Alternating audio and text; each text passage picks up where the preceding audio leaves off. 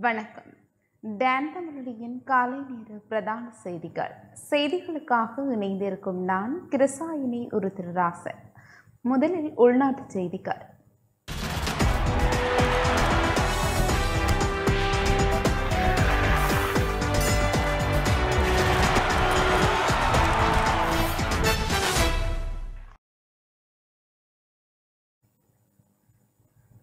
நாடு முழுவதும் தற்போது நிலவும் மழையுடனான வானிலை இன்றும் தொடரும் என வளிமண்டலவியல் திணைக்களம் தெரிவித்துள்ளது. குறைந்த அழுத்த பிரதேசம் தென்கிழக்கு வங்காள விரிகுடாவில் தற்போது நிலை கொண்டுள்ளது. அது அடுத்த முப்பத்தி ஆறு மணித்தியாலங்களில் ஒரு தாளமுகமாக விருத்தியடையக்கூடிய சாத்தியம் காணப்படுவதுடன் மேற்கு வடமேற்கு திசையில் இலங்கையின் வடக்கு கரையை அண்மித்ததாக வட தமிழ்நாட்டை நோக்கி நகரக்கூடிய சாத்தியம் காணப்படுகின்றது. இத்தொகுதியின் தாக்கம் காரணமாக நாட்டின் பெரும்பாலான பிரதேசங்களில் அவ்வப்போது மழையோ அல்லது இடியுடன் கூடிய மழையோ பெய்யக்கூடிய சாத்தியம் காணப்படுகின்றது என வளிமண்டலவியல் திணைக்களம் எதிர்வு கூறியுள்ளது. வடக்கு வடமத்திய வடமேல் மற்றும் மேல் மாகாணங்களில் சில இடங்களில் நூற்று ஐம்பது மில்லிமீட்டருக்கும் அதிகமான மிக பலத்த மழை வீழ்ச்சி எதிர்பார்க்கப்படுகிறது. சப்ரகமுவ மற்றும் மத்திய மாகாணங்களில் திருகோணமலை மாவட்டத்திலும் சில இடங்களில் நூறு மில்லிமீட்டருக்கும் அதிகமான பலத்த மழை வீழ்ச்சி எதிர்பார்க்கப்படுகின்றது. இடியுடன் கூடிய மழை பெய்யும் வேளைகளில் அப்பிரதேசங்களில் தற்காலிகமாக பலத்த காற்றும் வீசக்கூடும். மின்னல் தாக்கங்களினால் ஏற்படக்கூடிய பாதிப்புகளை குறைத்துக் கொள்ள தேவையான முன்னெச்சரிக்கை நடவடிக்கைகளை எடுத்துக் கொள்ளுமாறு பொதுமக்கள் அறிவுறுத்தப்படுகின்றார்கள். இதேவேளை காங்கேசன்துறையிலிருந்து புத்தளம் கொழும்பு காலி மற்றும் ஹம்பாந்தோட்டை ஊடாக பொத்துவில் வரையான கடற்பரப்புகளில் காற்றின் வேகமானது அவ்வப்போது மணத்தியாலத்திற்கு ஐம்பத்தி ஐந்து தொடக்கம் அறுபத்தி ஐந்து கிலோமீட்டர் வரை அதிகரிக்கக்கூடிய சாத்தியம் காணப்படுகின்றது எனவும் நாட்டைச் சூழவுள்ள கடற்பரப்புகள் அவ்வப்போது கொந்தளிப்பாக காணப்படும் எனவும் வளிமண்டலவியல் திணைக்களம் தெரிவித்துள்ளது.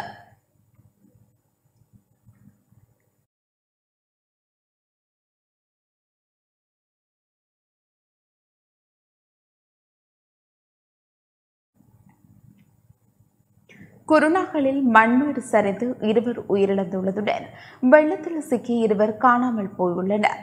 குருணாக்கள் ரிதிகம் பிரதேசத்தில் உள்ள வீடொன்றின் மீது மண்மேடு சரிந்து விழுந்ததில் இருவர் உயிரிழந்துள்ளதாக அனர்த்த முகாமைத்துவ மத்திய நிலையம் தெரிவித்துள்ளது.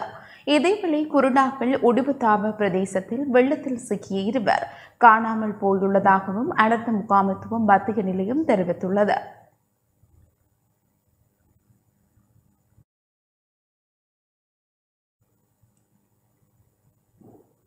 கேகாலையில் மண் சரிவில் சிக்கிய இருவர் காணாமல் போயுள்ளதாக தெரிவிக்கப்பட்டுள்ளது.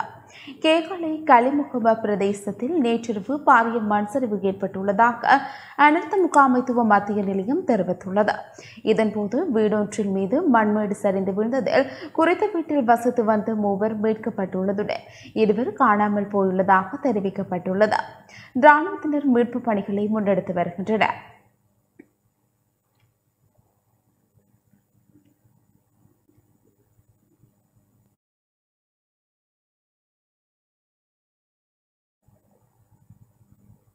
எரிபொருட்களின் விலை அதிகரிப்பு தொடர்பில் நிதியமைச்சர் வரவு செலவு திட்டத்தினூடாக தீர்மானிப்பார் என அமைச்சர் உதய கம்மன்பில தெரிவித்துள்ளார். சர்வதேச சந்தையில் குறுகிய நாட்களுக்குள் எரிபொருட்களின் விலை இருபத்தி ஏழு சதவீதத்தினால் அதிகரிக்கப்பட்டுள்ளது. எனவே எரிபொருட்களின் விலை அதிகரிப்பு தொடர்பில் நிதியமைச்சர் வரவு செலவு திட்டத்தினூடாக தீர்மானிப்பார் என வெளசக்தி அமைச்சர் உதய கமர்பில தெரிவித்துள்ளார். வெளசக்தி அமைச்சர் இடம்பெற்ற ஊடகவியலாளர் சந்திப்பில் அவர் இவ்வாறு குறிப்பிட்டார். கடந்த மூன்றாம் திகதி முதல் நாடு தழுவிய ரீதியில் மின்சார துண்டிப்பு இடம்பெறும் என சமூகத்தில் மத்தியில் பரவி வந்த வதந்தியின் காரணமாக நுகர்வோர் மண்ணெண்ணெயை அதிகளவில் கொள்வளவு செய்துள்ளனர். அதன் காரணமாக மண்ணெண்ணெய்க்கான கேள்வி இருமடங்காக அதிகரிக்கப்பட்டுள்ளது. விவசாயிகள் மீனவர்களுக்கு நிவாரணம் வழங்கும் வகையில் மண்ணெண்ணெய் நிவாரண நிலையில் விற்பனை செய்யப்படுகின்றது. ஒரு லிட்டர் டீசல் நூற்று பதினோரு ரூபாவிற்கு விற்பனை செய்யப்படும் போது ஒரு லிட்டர் மண்ணெண்ணெய் எழுபத்தி ஏழு ரூபாவிற்கு விற்பனை செய்யப்படுகிறது. அவ்வாறான நிலையில் தற்போது பெரும்பாலான கைத்தொழிற்சாலைகள் படகுச்சுவை ஆகியவை மாத்திரமல்ல பேருந்துகளும் மண்ணெண்ணெய் பாவனையில் அதிகம் இயங்க ஆரம்பித்துள்ளன. சமையல் எரிவாயுவிற்கு மண்ணெண்ணெய்க்கும் இடையிலான விலை வேறுபாட்டின் காரணமாக நுகர்வோர் அதிகளவில் மண்ணெண்ணெய் பாவனைக்கு மாறிவிட்டார்கள். விவசாயிகள் மீனவர்கள் ஆகியோருக்கு நிவாரணம் வழங்கும் வகையில் பெட்ரோலிய நிறுவனம் இருபத்தி மூன்று மில்லியன் நட்டத்தை எதிர்கொண்டு மண்ணெண்ணெயை நிவாரண அடிப்படையில் விநியோகிக்கிறது. அவ்வாறான பின்னணியில் மண்ணெண்ணெய்க்கான கேள்வி அதிகரித்துள்ளதால் சில தட்டுப்பாடுகள் ஏற்படலாம். தற்போதைய நிலையில் மண்ணெண்ணெயின் விலை அதிகரிக்கவும் முடியாது. ஆகவே இனிவரும் நாட்களில் விவசாயிகள் மீனவர்கள் இல்லாத பிரதேசத்திற்கு மண்ணெண்ணெய் விநியோகம் மட்டுப்படுத்தப்படும். மின்துண்டிப்பு என்ற தவறான வதந்தி காரணமாக நுகர்வோர் அதிகார சபை மண்ணெண்ணெயை கொள்வனவு செய்துள்ளார்கள். இதனால் மண்ணெண்ணெய்க்கான கேள்வி அதிகரிக்கப்பட்டுள்ளது. கடந்த சில வாரங்களை பொறுத்தவரைக்கும் ஒரு நாளில் மாத்திரம் சுமார் ஐநூற்று ஐம்பது மெட்ரிக் டன் மண்ணெண்ணெய் விற்பனை செய்யப்பட்டுள்ளது. பொருளாதார ரீதியில் பாதிக்கப்பட்டுள்ள மக்களை மேலும் நெருக்கடிக்குள்ளாக்க கூடாது என்ற காரணத்தினால் எரிபொருட்களின் விலை கடந்த ஐந்து மாத காலமாக அதிகரிக்கப்படலாம் எனவும் தற்போதுள்ள நிலையில் உலக சந்தையில் எரிபொருட்களின் விலை இருபத்தி ஏழு சதவீதத்தினால் அதிகரிக்கப்பட்டுள்ளது. ஆகவே எரிபொருட்களின் விலையை அதிகரிப்பதா அல்லது எரிபொருள் இறக்குமதிக்கான வரி நீக்கம் செய்வதா அல்லது நுகர்வோருக்கு மாற்று வழிமுறை ஊடாக நிவாரணம் வழங்குவதா என்பதை நிதியமைச்சர் பெசல் ராஜபக்ச இவ்வாறும் வரவு செலவு திட்டத்தினூடாக அறிவிப்பார் என தெரிவித்துள்ளார்.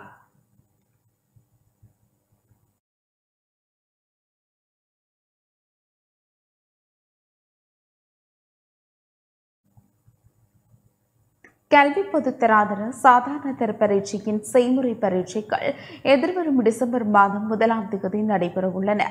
கல்வி பொதுத்தராதர சாதாரண தர பரீட்சையின் தே- செயல்முறை பரீட்சைகள் நடைபெறும் திகதி அறிவிக்கப்பட்டுள்ளது. எதிர்வரும் டிசம்பர் மாதம் முதலாம் தேதி தொடக்கம் செய்முறை பரீட்சை நடைபெறும் என பரீட்சைகள் திணைக்களம் அறிவித்துள்ளது. எதிர்வரும் டிசம்பர் மாதம் முதலாம் திகதி தொடக்கம் பதினோராம் திகதி வரையில் பரீட்சை நடைபெற உள்ளது கோவிட் தொற்று காரணமாக பாடசாலைகள் மூடப்பட்டிருந்த காரணத்தினால் இரண்டாயிரத்து இருபதாம் ஆண்டிற்கான செய்முறை பரீட்சைகள் நடைபெறவில்லை. அந்த வகையில் அழகியற் பாடங்களுக்கான செய்முறை பரீட்சைகளை இவ்வாறு நடைபெற உள்ளது என்பதுடன் செய்முறை பரீட்சை நடைபெறும் பாடங்கள் தவிர்த்த ஏனைய பாடங்களுக்கான கல்வி பொதுத்தராதர சாதாரண தர பரீட்சை பெறுபவர்கள் ஏற்கனவே வெளியிடப்பட்டிருந்தமை குறிப்பிடத்தக்கது.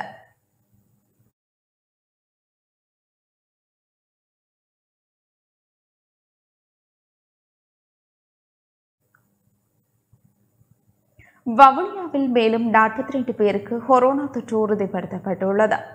வவுனியாவில் மேலும் நாற்பத்தி ரெண்டு பேருக்கு கொரோனா தொற்று உறுதிப்படுத்தப்பட்டுள்ளதாக சுகாதார பிரிவினர் தெரிவித்துள்ளனர். வவுனியாவில் இனங்காணப்பட்ட கொரோனா தொற்றாளர்களுடன் தொடர்புகளை பேணியோர் வவுனியா வைத்தியசாலையில் சிகிச்சைக்காக அனுமதிக்கப்பட்டு மற்றும் எழுமாறாக மேற்கொள்ளப்பட்ட பிசிஆர் மற்றும் ஆன்டிஜென் பரிசோதனையின் முடிவுகள் சில வெளியாகின அதில் வவுனியா வவுனியா வடக்கு செட்டிக்குளம் வவுனியா தெற்கு ஆகிய பிரிவுகளை உள்ளடக்கியதாக மேலும் நாற்பத்தி ரெண்டு பேருக்கு கொரோனா தொற்று உறுதி செய்யப்பட்டுள்ளது. இந்த நிலையில் தொற்றாளர்களை தனிமைப்படுத்துவதற்கும் அவர்களுடன் தொடர்புடையவர்களை இனம் காண்பதற்கும் சுகாதார பிரிவினர் நடவடிக்கை எடுத்துள்ளனர்.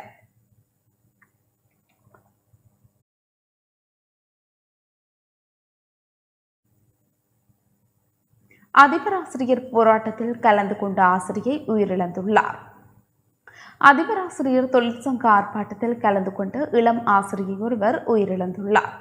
மதுரை மாவட்டம் தெனியாய ஹொட்டப்பள்ள பிரதேசத்தில் நேற்று இடம்பெற்ற ஆர்ப்பாட்டத்தில் கலந்து கொண்ட ஆசிரியை ஒருவர் திடீரென மயங்கி விழுந்த நிலையில் உயிரிழந்துள்ளார். குறித்த ஆசிரியை போராட்டத்தில் ஈடுபட்டிருந்த போது திடீரென மயங்கி விழுந்துள்ளார். உடனடியாக அவரை வைத்தியசாலைக்கு அழைத்து செல்ல நடவடிக்கை எடுக்கப்பட்ட போதும் அதற்கு முன்னரே அவர் உயிரிழந்துள்ளார். இருபத்தி எட்டு வயதுடைய ஆசிரியை ஒருவரே இவ்வாறு உயிரிழந்துள்ளார். இருதய நோயால் பாதிக்கப்பட்டிருந்த குறித்த ஆசிரியைக்கு பதிமூன்று வயதிலேயே அறுவை சிகிச்சை நடத்தப்பட்டுள்ளதாக உறவினர்கள் தெரிவித்தனர். சுவையினம் காரணமாக ஆர்ப்பாட்டத்தில் கலந்து கொள்ள வேண்டாம் என அவருக்கு கூறப்பட்ட போதிலும் ஆர்ப்பாட்டத்தில் கலந்து கொண்டார் என தெரிவிக்கப்படுகிறது. சம்பவம் தொடர்பான மேலதிக விசாரணைகளை போலீசார் முன்னெடுத்து வருகின்றனர்.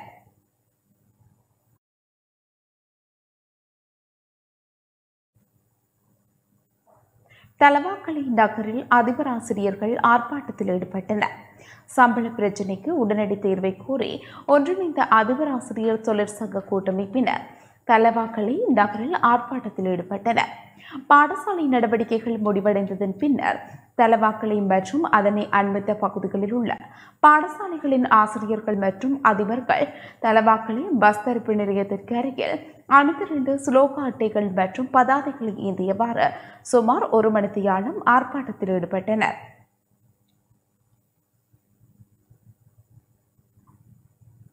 தொற்றா நோயை கட்டுப்படுத்துவது சுகாதார அமைச்சின் பொறுப்பாகும் என அரச மருத்துவ அதிகாரிகள் சங்கத்தின் மத்திய செயற்குழு உறுப்பினர் வாசன் ரத்னசிங்கம் தெரிவித்துள்ளார். தொற்று நோய்கள் தொடர்பில் சுகாதார அமைச்சு உரிய கவனம் செலுத்தவில்லை என அரச மருத்துவ அதிகாரிகள் சங்கத்தின் மத்திய செயற்குழு உறுப்பினர் வைத்தியர் வாசன் ரத்னசிங்கம் தெரிவித்துள்ளார். கொழும்பில் இடம்பெற்ற ஊடகவியலாளர் சந்திப்பின் போதே அவர் இதனை தெரிவித்தார். கடந்த காலங்களில் கொரோனா தொற்றானது நாட்டை பாதித்த வகையில் இருக்கும் பொழுது அரச மருத்துவ அதிகாரிகள் சங்கம் என்ற ரீதியில் நாங்கள் பல்வேறுபட்ட முன்வழிவுகளை யோசனைகளை அரசாங்கத்துக்கும் அதேபோன்று சுகாதார அமைச்சு அதனுடைய அதிகாரிகளுக்கும் நாங்கள் வழங்கி வந்திருக்கின்றோம். எங்களுடைய பரிந்துரைகளை அமல்படுத்தியதன் விளைவாகவே அத்தோடு எங்களுடைய பரிந்துரைகளுக்கு ஊடாக பல்வேறுபட்ட முடிவுகளை எடுத்து அதனை அமல்படுத்தியதன் விளைவாகவே நாங்கள் கொரோனா தொற்றினுடைய படிப்படியான அலைகளை முகாமத்துவம் செய்யக்கூடியதாக இருந்தது. அத்தோடு இந்த முகாமத்துவத்திலே அரச மருத்துவ அதிகாரிகள் சங்கமானது பாரிய செல்வாக்கையும் செலுத்தியிருந்தது.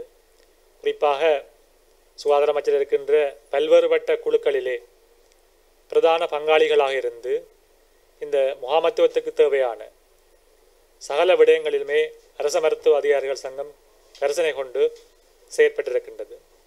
குறிப்பாக மனித வளங்களை சரியான முறையில் செயல்படுத்தி அதேபோன்று இந்த தொற்றாளர்களை இனங்கண்டு பரிசோதனை மூலம் அவர்களை எவ்வாறு இனங்காணுவது அதேபோன்று புதிய திரிவுகள் பற்றிய பரிசோதனைகளை மேற்கொள்வது போன்ற விடயங்கள் சம்பந்தமாக அரச மருத்துவ அதிகாரிகள் சங்கம் தொடர்ச்சியாக பரிந்துரைகளை முன்வைத்து அதனை எவ்வாறு செயல்படுத்த வேண்டும் என்றும் கூறியிருந்தது.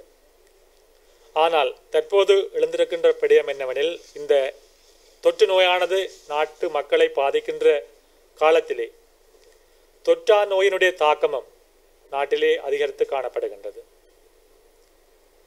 இந்த தொற்று நோயை முகாமத்துவம் செய்வது சுகாதார அமைச்சருடைய பொறுப்பாக இருக்கின்ற பொழுதும் தொற்றா நோயை முகாமத்துவம் செய்வது கூட சுகாதார அமைச்சருடைய பொறுப்பாகவே இருக்கின்றது. அதாவது இந்த தொற்று நோயை முகாமத்துவம் செய்வதற்காக தொற்று நோய் விஞ்ஞான பிரிவு தொற்று நோய் தடுப்பு பிரிவானது செயற்பட்டு வருகின்றது. அதே போன்று இந்த தொற்றா நோயை கட்டுப்படுத்துவதற்காக அதற்கென்று பிரதி சுகாதார சேவை பணிப்பாளர் நாயகம் அதே போன்று பணிப்பாளர்கள் இருக்கின்றார்கள். ஆகவே இந்த தொற்றா நோயை கட்டுப்படுத்துவது சம்பந்தமாக அரச மருத்துவ அதிகாரிகள் சங்கம் கடந்த காலங்களில் எங்களுடைய முன்மொழிவுகளை நாங்கள் வைத்திருக்கின்றோம். குறிப்பாக கடந்த ரெண்டாயிரத்தி பதிமூன்றாம் ஆண்டு டிசம்பர் மாதம் இந்த தொற்றா நோய்களை கட்டுப்படுத்துவதற்காக பன்னிரண்டு முன்மொழிவுகளை பிரதானமாக வைத்திருக்கின்றது. அதிலே குறிப்பாக அதாவது காரணம் அறியப்படாத நீண்டகால சிறுநீரக நோய்கள் இவை எவ்வாறு ஏற்படுகின்றது இவை எந்தெந்த பிரிவினரை அதிகம் பாதிக்கின்றது போன்ற விடயங்கள் சம்பந்தமாக அரச மருத்துவ அதிகாரிகள் சங்கம் தெளிவான பரிந்துரைகளை சுகாதார அமைச்சுக்கு வழங்கியிருக்கின்றது. ஆனால் இது சம்பந்தமாக இந்த தொற்றா நோய்கள் பற்றிய விழிப்புணர்வு அதேபோன்று இந்த நீண்டகால காரணம் அறியப்படாத நீண்டகால சிறுநீர நோய்கள் பற்றிய விடயத்திலே சுகாதார அமைச்சு சரியான முறையில் இதுவரை காலமும் செயற்படவில்லை. ஆகவே இந்த விடயங்கள் சம்பந்தமாக சுகாதார அமைச்சு விரைந்து சரியான நடவடிக்கை எடுக்க வேண்டும் என்று அரச மருத்துவ அதிகாரிகள் சங்கம் கூறி நிற்கின்றது. இதற்காகவே கடந்த ரெண்டாயிரத்தி பதிமூன்றாம் ஆண்டு டிசம்பர் மாதம் பன்னிரண்டு முன்மொழிவுகளை அரச மருத்துவ அதிகாரிகள் சங்கம் சுகாதார அமைச்சுக்கு முன்வைத்து இது சம்பந்தமாக நடவடிக்கை எடுக்குமாறு பரிந்துரை செய்திருக்கின்றது. தபால் நிலையத்தில் தண்டு பணத்தை செலுத்துவதற்கான கால எல்லை எதிர்வரும் பதினான்காம் தேதியுடன் நிறைவடைய உள்ளது பயணத்தடை அமலில் இருந்த காலப்பகுதியில் தபால் நிலையத்தில் தண்டு பணத்தை செலுத்துவதற்கான வழங்கப்பட்டிருந்த கால எல்லை பதினான்காம் திகதியுடன் நிறைவடைய உள்ளதாக தபால் மா அதிபர் ரஞ்சித் ஆரியரட்ன தெரிவித்துள்ளார். அக்டோபர் முப்பத்தி ஒன்று முதல் இம்மாதம் பதினான்காம் தேதி வரை செய்த குற்றங்களுக்கு கூடுதல் அபராத தொகை அறவிடப்படாது. ஆனால் அதன் பின்பு இருபத்தி எட்டாம் தேதி வரை மேலதிக அபராதம் அறவிடப்படும். இம்மாதம் முதலாம் திகதி முதல் வழங்கப்படும் அபராத பத்திரங்களுக்கு வழக்கம் போல் பதினான்கு நாட்களுக்கும் அபராதம் விதிக்கப்பட்ட இருபத்தி எட்டு நாட்கள் வரை அபராத தொகை கணக்கிடப்படும். மேலதிக அபராதத்துடன் அபராத பத்திரங்களுக்கு ஏற்றுக்கொள்ளப்படும் என்று இருபத்தி எட்டு நாட்களுக்கு மேலுள்ள போக்குவரத்து அபராத பத்திரிகம் ஏற்றுக்கொள்ளப்பட மாட்டாது என்று தபால் மாதிபர் மேலும் தெரிவித்துள்ளார்.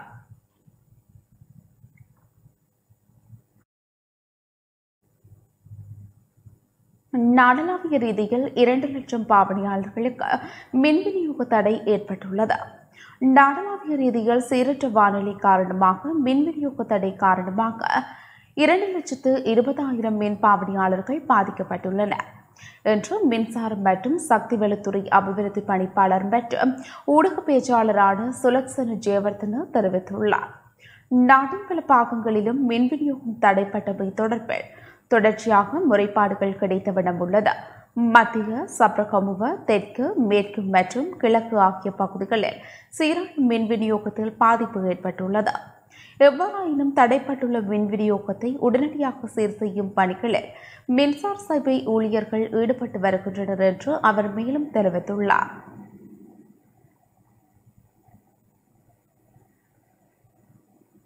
சீரற்ற காலநிலை காரணமாக புத்தளம் மாவட்டத்தில் ஒருவர் காணாமல் போயுள்ளார். புத்தளம் மாவட்டத்தில் பெய்து வரும் கடும் மழை காரணமாக புத்தளம் நகரின் கடையாகுளம் நகனூர் மணல்குன்று தில்லையடி அல்ஜித்தாக் ரத்னலான புத்தளம் மன்னார் வீதி பாலாவி குவைத் முகாம் மற்றும் நாகவில்லும் விழிப்புரம் கல்லடி ஆகிய பகுதிகள் வெள்ளத்தில் மூழ்கியுள்ளன. கற்பட்டி பிரதேச செயலகத்திற்குட்பட்ட கற்பட்டி நுரைச்சோலை ஆலங்குடா திகழி நாவட்குடா கரம்பை பகுதிகளும் உளுக்கப்பள்ளம் இலத்திகடி டகரக்கள்ளி தழுவ ஆகிய பகுதிகளில் வெள்ளத்தில் மூழ்கியுள்ளன. இந்த நிலையில் அப்பகுதிகளில் விவசாய செய்கைகளும் முற்றாக வெள்ளத்தில் மூழ்கியுள்ளதாக விவசாயிகள் கவலை வெளியிட்டுள்ளனர். அத்துடன் வெள்ளத்தினால் பாதிக்கப்பட்ட மக்கள் உறவினர் வீடுகள் வடக்கு ஸ்தலங்கள் பாடசாலைகளில் தங்க வைக்கப்பட்டுள்ளன தொடர்ச்சியாக பெய்து வரும் அடைமழை காரணமாக புத்தளம் கொழும்பு வேதியின் தில்லையடி முதல் கீரியங்கள்ளி வரை சுமார் மூன்று அடிக்கு மேலான நீர் சென்றமையினால் வாகன போக்குவரத்து முற்றாக தடைப்பட்டது பின்னர் புத்தளம் மாவட்ட அனர்த்த முகாமைத்துவம் மத்திய நிலையத்தின் வேண்டுகோளுக்கு இணங்க இராணுவத்தினர் கடற்படையினர் விமானப்படையினர் போலீசார் இணைந்து வாகன நெரிசலை குறைக்கும் நடவடிக்கைகளை மேற்கொண்டனர். சீரற்ற காலநிலை காரணமாக முந்தல் போலீஸ் பிரிவிற்குட்பட்ட கொத்தாந்தீவு பகுதியில் குடும்பஸ்தர் ஒருவர் நேற்று முன்தினம் காணாமல் போயுள்ளார். கொத்தாந்தீவு பகுதியில் உள்ள ரால் பண்ணைக்கு வேலைக்கு சென்று வெள்ளத்திற்குள் சிக்கிக்கொண்ட உறவினர் ஒருவரை அழைத்து செல்வதற்காக வீட்டிலிருந்து சென்ற குடும்பஸ்தர் ஒருவரை இவ்வாறு காணாமல் போயுள்ளதாக போலீசார் குறிப்பிட்டுள்ளனர். அதனையடுத்து காணாமல் போன குடும்பஸ்தரை போலீசார் இராணுவத்தினர் கடற்படையினர் பொதுமக்கள் இணைந்து தேடி வருகின்றனர்.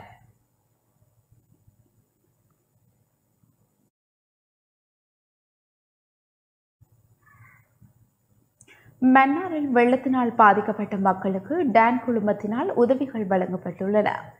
மன்னார் மாவட்டத்தில் வெள்ளத்தினால் பாதிக்கப்பட்ட மக்களுக்கு டான் தொலைக்காட்சி குழுமத்தினால் உதவிகள் வழங்கப்பட்டுள்ளன. மன்னார் பிரதேச செயலக பிரிவுகளுக்குட்பட்டு கடும் மழையால் பாதிக்கப்பட்ட ஆறு இடைத்தங்கள் முகாம்களில் தங்க வைக்கப்பட்டுள்ள டான் தொலைக்காட்சி குழுமத்தினால் வழங்கப்பட்டுள்ளது.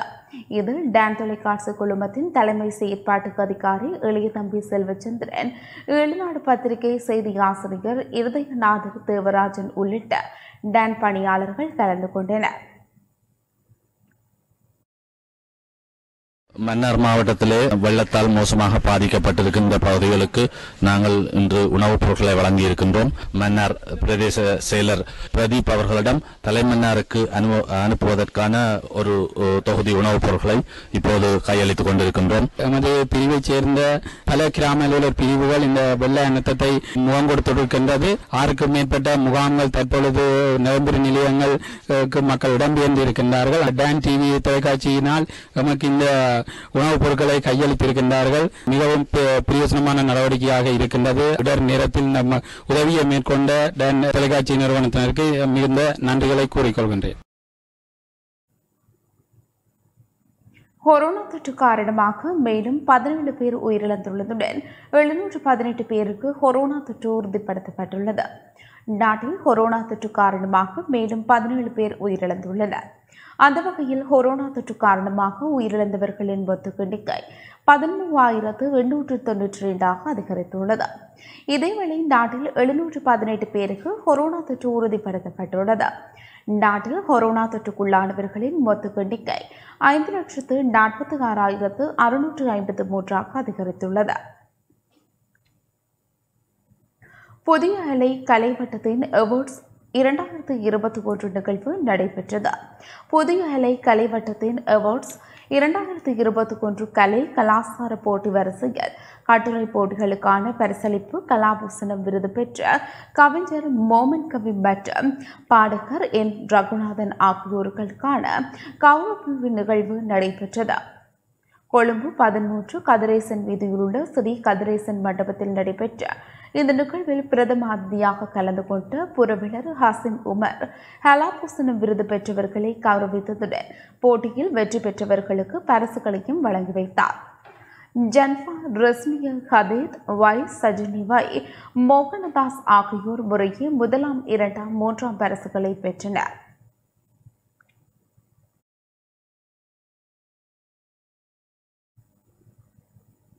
மட்டக்களப்பு தாமரைக்குளம் பகுதியில் கசிப்பு உற்பத்தியில் ஈடுபட்ட ஒருவர் கைது செய்யப்பட்டுள்ளார்.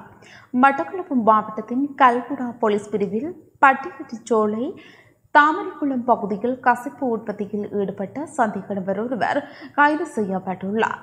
அவரிடமிருந்து கசிப்பு மற்றும் அதற்குரிய உபகரணங்களும் கைப்பற்றப்பட்டுள்ளதாக கல்குடா போலீஸ் நிலைய பொறுப்பதிகாரி சந்தன விதானகே தெரிவித்தார். பட்டியடிச்சேனி தாமரைக்குளம் பகுதியில் கசிப்பு உற்பத்திகள். ரகசிய தகவலை அடுத்து போலீஸ் நிலைய பொறுப்பதிகாரியின் தலைமையில் சென்ற குழுவினர். மேற்கொண்ட முற்றுகையின் போது மூன்று லிட்டர் கசிப்பு நான்கு லிட்டர் எழுநூற்றி ஐம்பது மில்லி லிட்டர் கோடா மற்றும் தளபாட உபகரணங்கள் என்பன கைப்பற்றப்பட்டுள்ளன. கசிப்பு உற்பத்தியில் ஈடுபட்ட சந்தேகத்தின் பேரில் கைது செய்யப்பட்டவரை வாழைச்சேனி மாவட்ட நீதவான் நீதிமன்றில் நீதவான் எச் எம் எம் பசில் முன்னிலையில் ஆயர்படுத்திய போது நாற்பத்தையாயிரம் ரூபாய் அபராதம் விதிக்கப்பட்டு சந்தேக நபர் விடுதலை செய்யப்பட்டதாக கல்குடா போலீசார் தெரிவித்தனர்.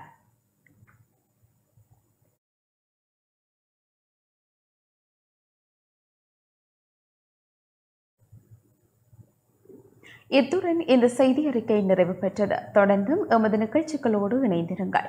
வணக்கம்.